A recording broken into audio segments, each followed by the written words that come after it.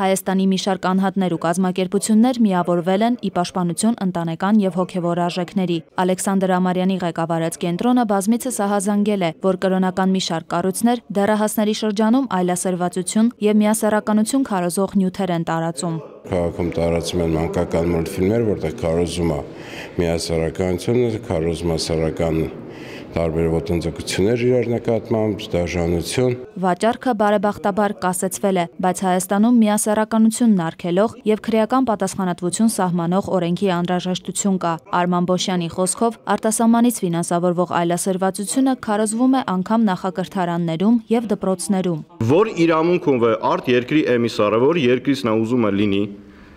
Հանդիպում առանց ծնողների համաձայնության մեր երեխաների հետ թե մանկապարտեզներում, թե ճամբարներում եւ որևէ բան սովորացնում, որտեղ է երաշխիքը, որ այդ մարդը օրինակ չի քարոզում իսլամական ջիհադ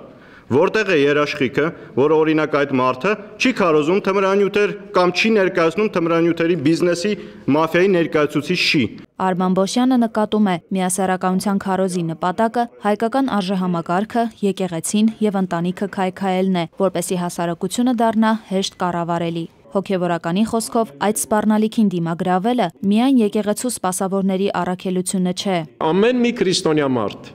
իր տեղում, իր տանը, իր հարևանների միջավայրում, ընկերական միջավայրում. Պարտավոր է պարտավոր է քրիստոնյայի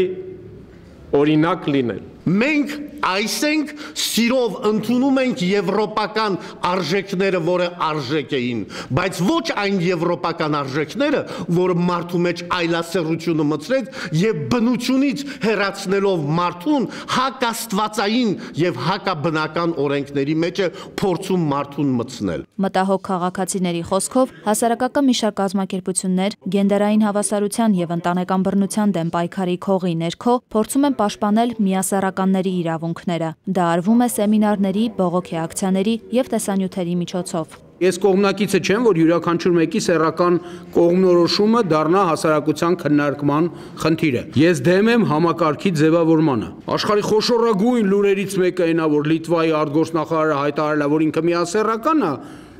այդ իր խնդիրն է։ Ինձ դրանից ոչ տակա, ոչ սառնա, բայց երբ որ դա վերահացում քարոզչական ալիքի, եւ սպրդումը ընտանիքներ դա արդեն խնդիր է դառնում։ Հայկական ավանդական արժեհամակարգի պաշտպանները մշակել են օրենքների նախագծեր, որոնցով նախատեսվում է անչափահասների շրջանում արգելել ոչ բնականon սեռական հարաբերությունների, ինչպես նաև ընտանեկան բռնության քարոզը։ Օրինագծերն առաջիկայում կներկայացվեն ազգային ժողով։ Լուիզա Սուքյասյան, Վահե Եղիազարյան, ժամը լրատվական։